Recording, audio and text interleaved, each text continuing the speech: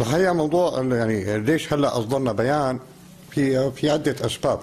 اولا نحن من بدايه من بداية الحصار ونحن بنعمل جاهدين على حل مشكلات المجتمع بطريقة فيها تحدي كثير قوي لأنه التحديات كثير كبيرة.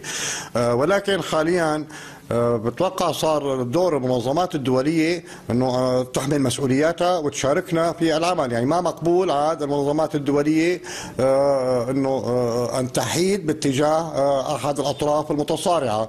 المنظمات الدولية منظمات محايدة في الصراعات العسكرية وهذا الحكي معروف تماما.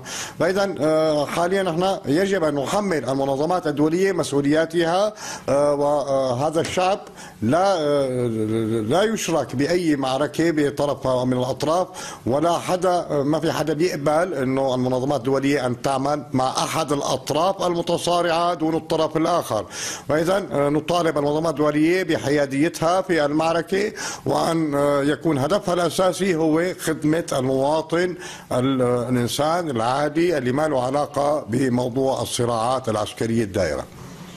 طبعا هي اللقاحات غير متوفرة بالغوطة. آه، ولا يوجد أي جهة موجودة بالغوطة توجد لديها اللقاحات أو تمنعها. هي بالأساس تدخل عن طريق مناطق مناطق يعني أماكن سيطرة النظام ويتم توزيعها على المحتاجين عبر المراكز الصحية المختصة بهذا الأمر.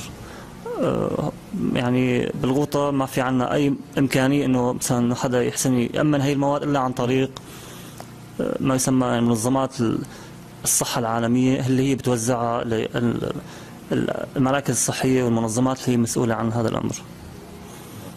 آه، لقد لاحظنا الآراء آه، الصحفية في هذا البيان آه، الطبي أو الطبي من وزارة الصحة في الغوطة الشرقية. طبعا لاحظنا آراء الصحفيين وأيضا أسئلتهم للأطباء المتواجدين داخل الغوطة الشرقية. حازم الشامي لقناة الجسر الفضائية ريف دمشق.